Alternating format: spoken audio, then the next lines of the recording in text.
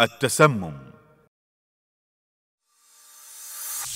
هل تعلم أن الخدمة الإسعافية الطارئة التي قدمت بواسطة جمعية الهلال الأحمر السعودي لحالات التسمم ارتفعت من 548 حالة عام 1417 هجرية إلى 642 حالة عام 1425 هجرية؟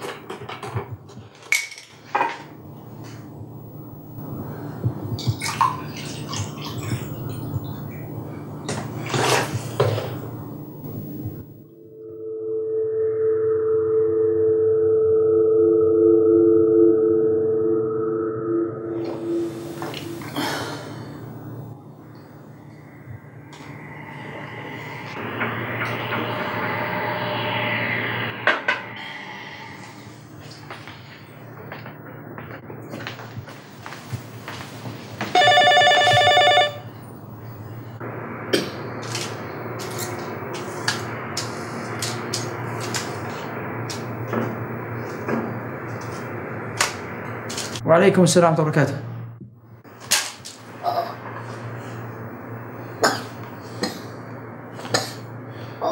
بابا بابا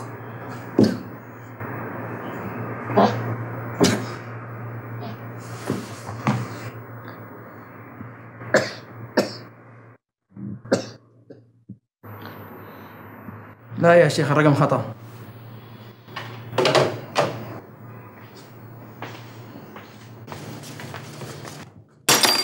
خالد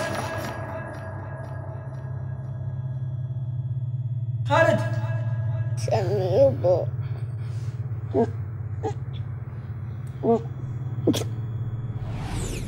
التسمم بالابتلاع. كيف أتصرف إذا وجدت طفلا أو بالغا ابتلع إحدى المواد التالية؟ كمية كبيرة من الأدوية أقراص أو شراب بطريق الخطأ أو رغبة في الانتحار. منظفات سائلة مثل كلوركس أو فلاش أو الصابون السائل أو الشامبو. مبيدات الحشرات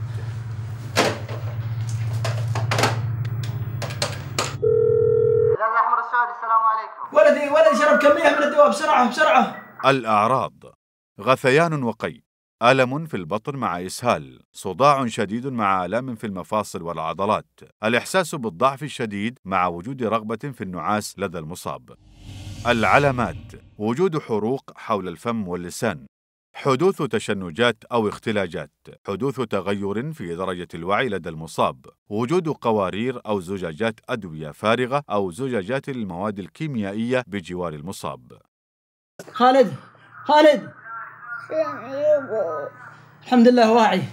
طبعا المصاب ولا يأخذ أي شيء عن طريق الفم. ممنوع. دفع المصاب للاستفراغ باستخدام الماء والملح أو وضع الإصبع في حلق المصاب. تحذير: لا تعطي المصاب أي شيء عن طريق الفم في أي حالة من حالات التسمم بالابتلاع. أما في حالة ابتلاعه لمادة قلوية مثل الفلاش والكلوركس فيمكن إعطاؤه كأسا من الماء لتخفيف المادة الحارقة.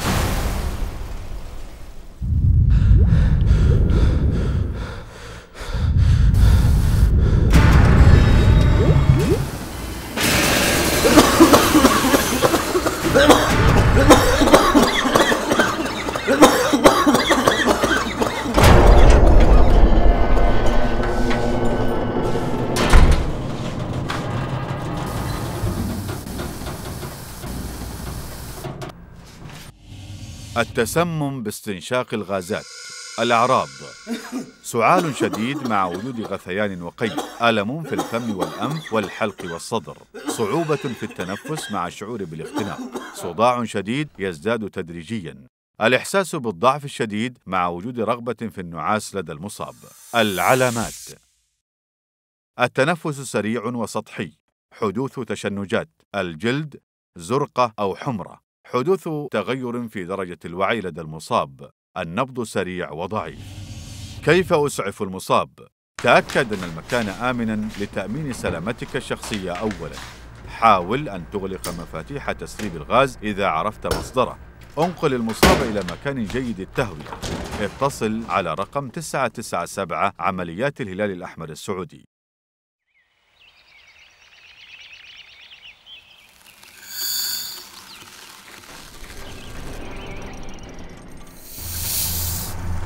فهد. هلا. تعال يا فهد لا تضرك الشمس. لا لا عادي ما بقوية الشمس. حلوة.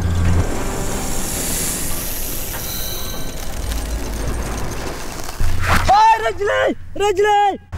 فهد آي عضات الثعابين والأفاعي ولدغات العقارب. كيف أعرف أن الشخص مصاب باللدغ؟ رجلي رجلي. إيش فيك إيش فيك رجلي يا شيخ رجلي. الأعراض والعلامات. ألم موضعي وزرقة وتورم مكان اللدغة. تعرق شديد. ضعف في الإبصار أو انعدام في الرؤية. تغير في درجة الوعي. دوار وغثيان وقي. ضعف في العضلات وعدم القدرة على الحركة. تصلب في العضلات مع حدوث تشنجات في العضلات القريبة من مكان اللدغ ماذا أفعل إذا تأكدت أن المصاب أصيب بلدغة العقرب أو الثعبان؟